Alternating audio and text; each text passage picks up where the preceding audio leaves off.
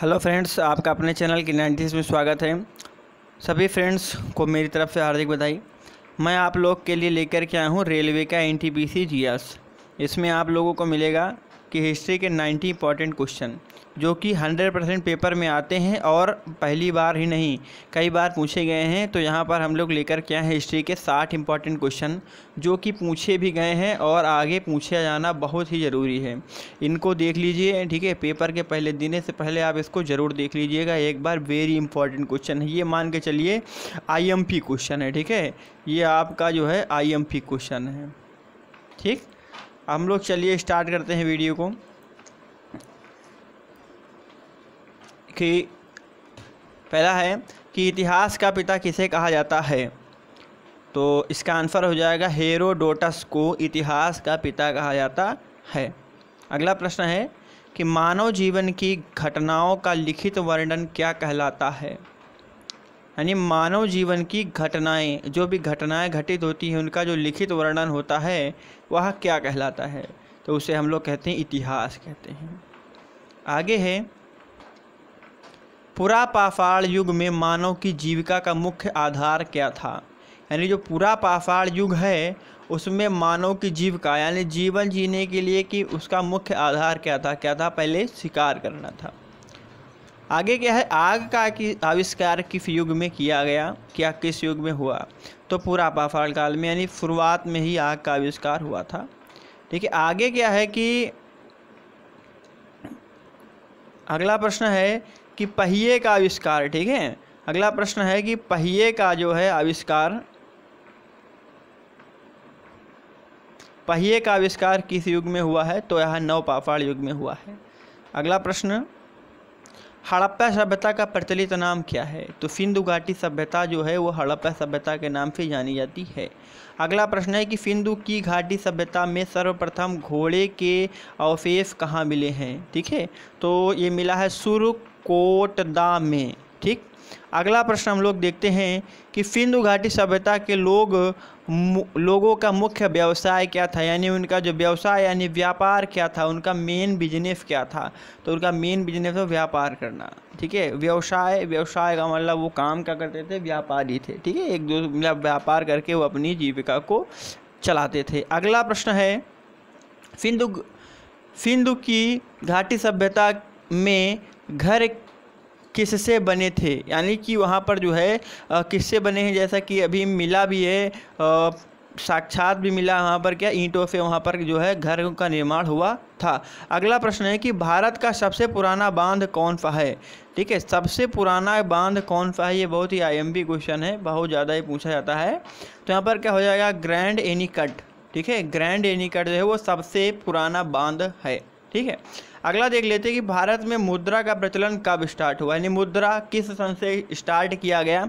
तो मुद्रा का जो प्रचलन है, वो छः सौ ईस्वी पूर्व से स्थापित किया गया, यानी स्टार्ट किया गया।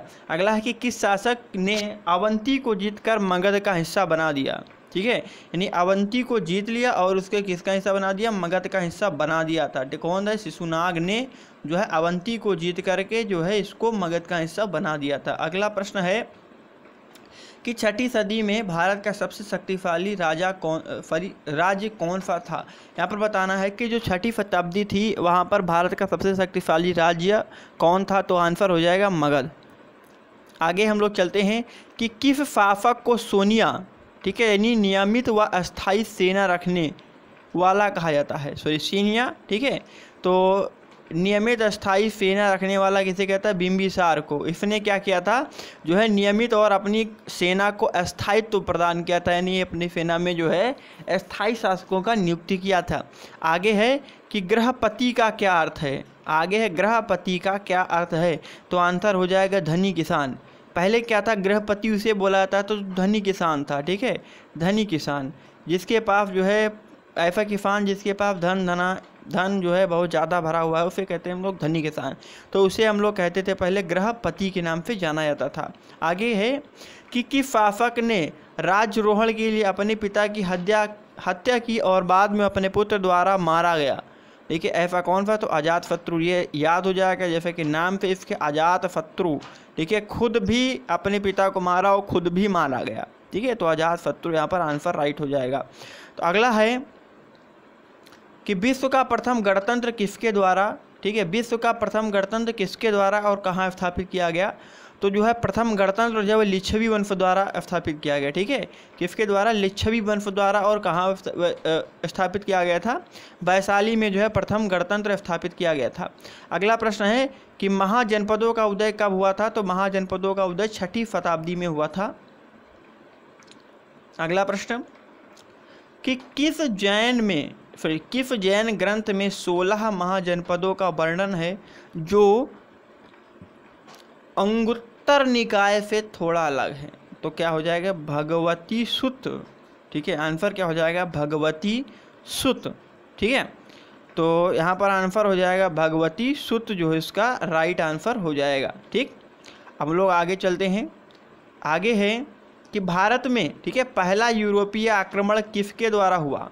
सबसे पहले जो आक्रमण हुआ था, यह यूनानियों के द्वारा सबसे पहले आक्रमण हुआ था। आगे है कि हड़प्पा की सभ्यता की खोज सर्वप्रथम किसने किया था? तो दयाराम साहनी। ये बहुत ही ज़्यादा पूछा जाता है कि दयाराम साहनी, ठीक है? तो दयाराम जो है, वो हड़प्पा, ठीक है? इसको ऐसे याद कर लेना, हड़प्पा की सभ्यता की खोज जो है, वह दयाराम साहनी ने किया था। आगे है कि सिंधु की घाटी की सभ्यता का स्थल काजीबंगा जो है वह किस प्रदेश में है? तो काजीबंगा वह राजस्थान में है, ठीक है? कालीबंगा, ठीक है? कालीबंगा जो है वह राजस्थान में है, ठीक है? तो यहाँ पर ये याद हो जाएगा कालीबंगा, ठीक है? राजस्थान, क्योंकि राजस्थान में ज़्यादा गर्मी होती है, ठीक है? तो यहाँ पर गर्मी अधिक होती है तो गर्मी होने के कारण सब लोग काले काले हो जाते हैं। तो यहाँ के जो बंग हैं, ठीक है? बंग माने आदमी मान लो एक प्रकार से। ठीक है तो वो कैसे हो गए? काले हो गए। ठीक है तो यहाँ पर कैसे याद हो जाए? काली काली बंगा। ठीक है, काली बंगा और राजस्थान में इसका आंसर हो जाएगा।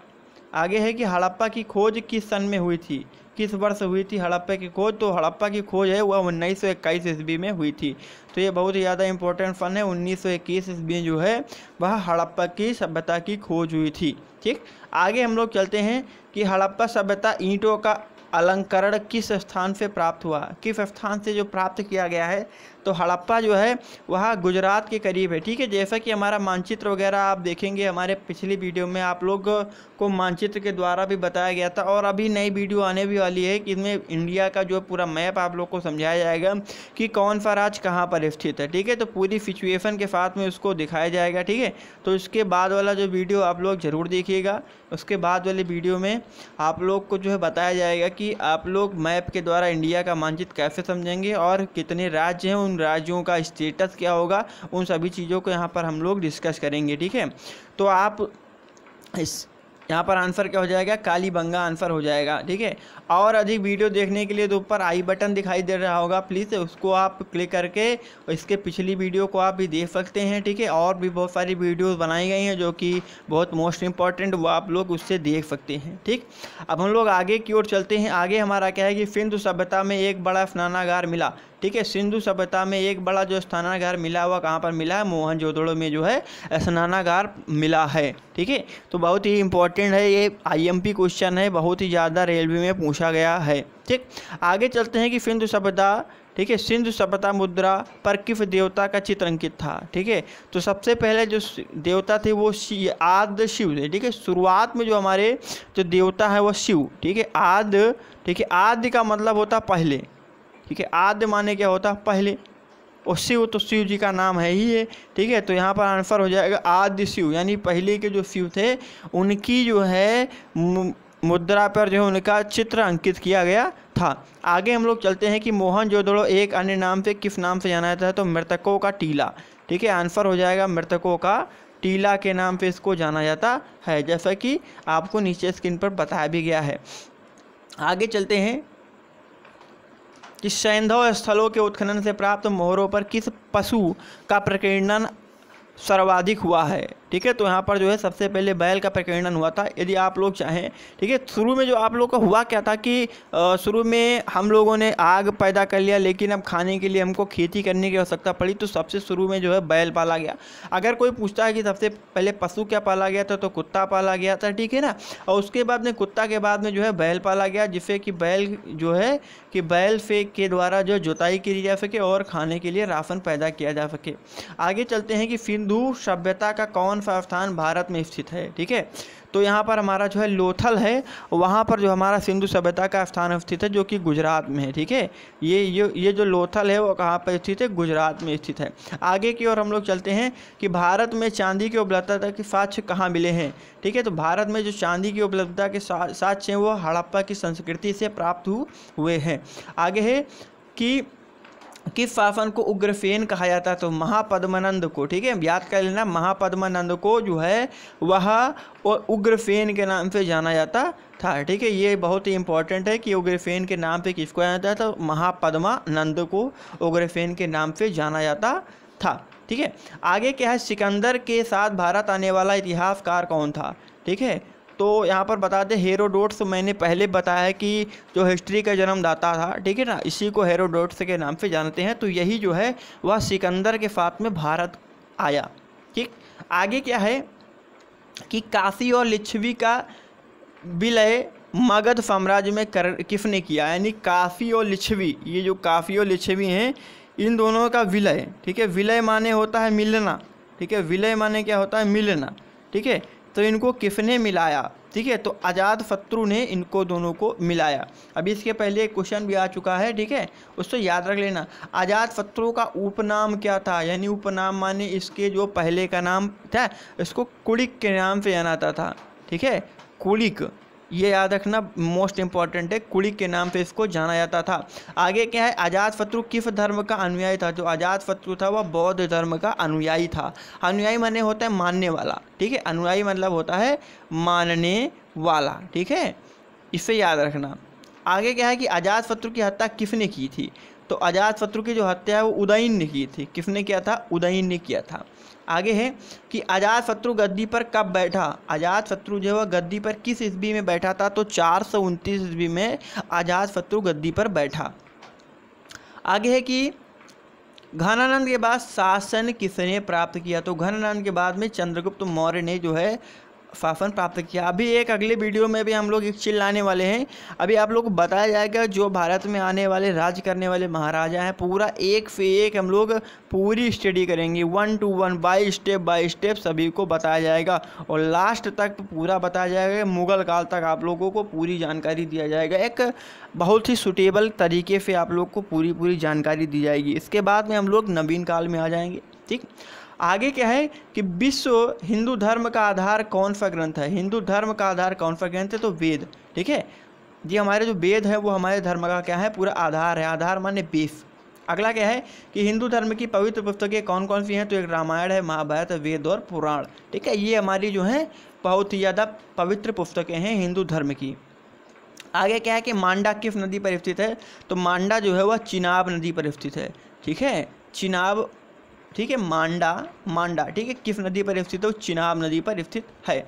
अगला प्रश्न हम लोग देखते हैं कि हड़प्पा हड़प्पा की सभ्यता का प्रमुख स्थल रोपड़ किस नदी पर स्थित है? ठीक है तो रोपड़ कहाँ पर स्थित है? फतलुज नदी पर स्थित है। ठीक है, कहाँ पर स्थित है? सतलुज नदी पर। तो रोपड़ का मतलब होता है हमने पेड़ लगाने गए। अब इसकी ट्रिक क्या बन सकती है कि हम पेड़ लगाने गए कहाँ पर? फतलुज नदी पर। ठीक है, ऐसे याद कर लेना। ठीक, आगे क्या है कि सिंधु सभ्यता में किस स्थान पर घरों में कुओं के अवशेष प्राप्त हुए हैं। ठीक है? कुओं। कुओं का मतलब कुआँ के द्वारा पानी कहाँ पर भरा जाता था? तो मोहन जोदड़ों में जो है भरा जाता था। आगे क्या है कि सिंधु सभ्यता की प्रमुख फ़सल कौन सी थी? तो सबसे पहले जो है गेहूँ और जौ को बोया गया था। शुरुआत में जो है गेहूँ और जौ को बोया गया था। हड़प्पा की समकालीन अब सभ्यता रंगपुर कहाँ है? ठीक है? रंगपुर जो है वह समकालीन सभ्यता थी। रंगपुर कहाँ वह सौराष्ट्र में स्थित है। ठीक है? आगे क्या है कि हड़प्पा और मोहनजोदड़ो की खोज किसने कराई? किसने कराई? अब यहाँ पर की के बारे में नहीं बता रहा है, कराई के बारे में बताया तो कौन है? फरजान मार्शल ने कराई थी। ठीक है ना?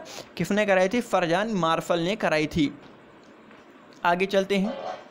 सिंधु सभ्यता के लोग सबसे ज़्यादा किस देवता पर विश्वास करते थे? तो यहाँ पर मातृशक्ति, ठीक है? माता की शक्ति पर, ठीक है? माता की शक्ति। पर वो ज़्यादा से ज़्यादा भरोसा करते थे, ज़्यादा से ज़्यादा उनके ऊपर विश्वास करते थे। अगला प्रश्न है कि हड़प्पा की सभ्यता में मोहरें किससे बनी थी? जो हड़प्पा जो है वह हड़प्पा की सभ्यता थी उसमें मोहर। मोहर मानी ठप्पा लगाने वाला जो है यंत्र उसके द्वारा। उसमें जो है किससे बनी थी, किस चीज़ की बनी थी? सेल खड़ी की बनी थी, ठीक है? सेल खड़ी की वहाँ पर जो है बनाई गई थी। आगे अगला प्रश्न है कि किस स्थान में किस स्थान से नृत्य मुद्रा वाली स्त्री का कांस्य मूर्ति प्राप्त हुई है। जो मतलब एक नृतिका है, वह नृत्य करती हुई मूर्ति, कांसे की मूर्ति जो है प्राप्त हुई है। तो यहाँ पर क्या हो जाएगा हमारा? मोहन जोदड़ो से प्राप्त हुआ है। आगे क्या है कि मोहन जोदड़ो इस समय कहाँ स्थित है? तो कहाँ पर स्थित है? पाकिस्तान में स्थित है। पाकिस्तान में कहाँ पर? सिंध प्रांत में स्थित है। अगला है, अद्वैत अद्वैत का शासन किसने प्रतिपादित किया था? तो कौन है? शंकराचार्य ने इसका प्रतिपादन किया था। अगला है कि विशिष्ट द्वैतावाद का सिद्धांत किसने प्रतिपादित किया था? तो रामानुज ने इसका प्रतिपादन किया था। अगला प्रश्न है कि गौतम बुद्ध का स्थान कहाँ और कब हुआ था? तो इनका स्थान नेपाल में हुआ था, नेपाल के लुम्बिनी नामक शहर में हुआ था और किस सन में हुआ था पाँच सौ तिरसठ ईस्वी में इनका जन्म हुआ था। अगला प्रश्न है कि गौतम बुद्ध को ज्ञान की प्राप्ति कहाँ हुई थी? तो यहाँ पर जो है गया बिहार में इनको जो है ज्ञान की प्राप्ति हुई थी। अगला प्रश्न है कि गौतम बुद्ध की मृत्यु कहाँ और कब हुई थी? तो इनकी मृत्यु जो उत्तर प्रदेश के कुशीनगर में हुआ था और किस सन में हुआ था, चार सौ तिरासी ईसा पूर्व, ईस्वी के पूर्व में जो ईसा मसीह के जन्म के पहले इनकी मृत्यु हो गई थी। अगला प्रश्न है कि गौतम बुद्ध ने अपना पहला धर्मोपदेश कहाँ पर दिया था? तो इन्होंने धर्मोपदेश दिया था सारनाथ में, ठीक है, जो कि कहाँ पर स्थित है? उत्तर प्रदेश में स्थित है। अगला प्रश्न देखते हैं कि बौद्ध का शाब्दिक अर्थ क्या होता है? बौद्ध का मतलब होता है प्रकाशवान, ठीक है? इसका शाब्दिक अर्थ क्या होता है? प्रकाशवान। अगला है कि बौद्ध गौतम बुद्ध ने अपने उपदेश किस भाषा में दिए तो पाली भाषा में दिया गया है। आगे हम लोग देखते हैं कि जातक कथाएँ किस धर्म से संबंधित हैं? तो जातक कथाएँ जो होती है हमारी, वह बौद्ध धर्म से संबंधित है।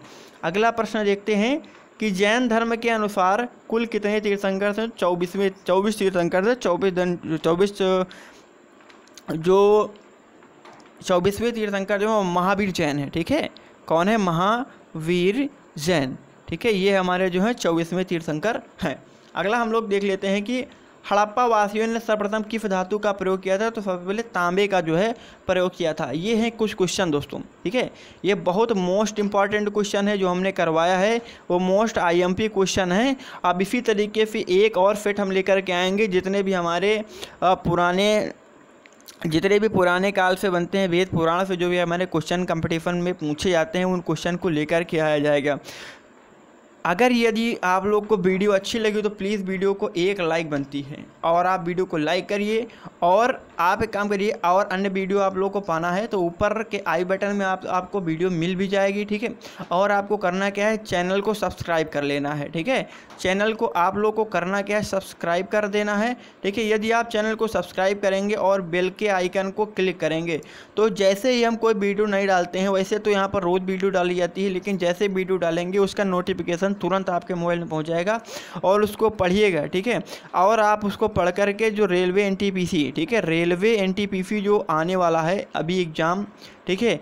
रेलवे एन का जो एग्ज़ाम आने वाला है, उसमें आप लोग उस पेपर को बढ़िया तरीके से कर सकते हैं, ठीक है? और ये स्पीड ये मान के चलिए आप लोग को स्पीड रिवीजन कराया गया है, ठीक है? वैसे तो आप लोग को सब कुछ आता होगा, लेकिन ये स्पीड रिवीजन के तौर पे आप लोग को कराया गया है। तो इस वीडियो को पेपर के जाने के टाइम ज़रूर देखिएगा, जिससे आप लोग को बहुत ज़्यादा, बहुत ही ज़्यादा नॉलेज प्राप्त होगा और पेपर में हंड्रेड परसेंट ये मान के चलिए हंड्रेड परसेंट श्योर है। ठीक है? श्योरिटी के साथ में बोल रहे हैं, इसमें से क्वेश्चन करीब दस क्वेश्चन ज़रूर पूछे जाएँगे। साठ क्वेश्चन से दस क्वेश्चन आपके पेपर में पक्का आ जाएँगे। ठीक है दोस्तों? तो तब तक के लिए चलते हैं। अब मिलते हैं अगले वीडियो में नए कुछ क्वेश्चन के साथ में। तो चैनल को सब्सक्राइब करिएगा वीडियो को लाइक करिएगा ज़्यादा से ज़्यादा शेयर करिएगा। तब तक के लिए गुड बाय